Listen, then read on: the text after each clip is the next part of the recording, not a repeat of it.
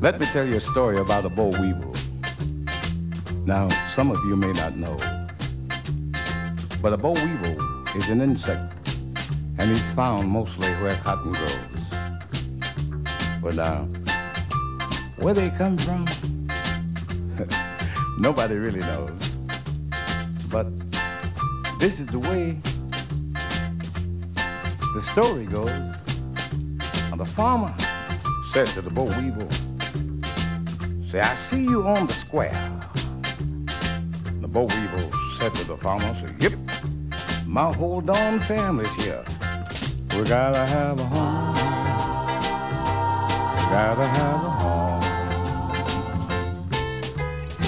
Then the farmer said to the boll weevil, said, Why'd you pick my farm?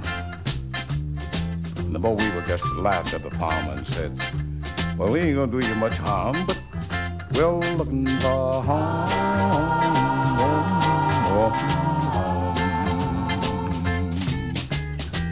Then the boll weevil spotted him a lightning bug. And he said, Hey, I'd like to make a trade with you. Because you see, if I was a lightning bug, I said, Oh, I'd search the whole night through, just searching for home. Oh, I'd have me plenty of homes. Then the boll weevil called the farmer and said, You better sell your old machines. Because when I'm through with your cotton, so you can't even buy gasoline. I'm going to take me a home. You gotta have a home. Then the boll weevil said to the farmer, said, Farmer, I'd like to wish you well. And the farmer said to the boll weevil, Yeah, I wish that you was in looking for home. Looking for home.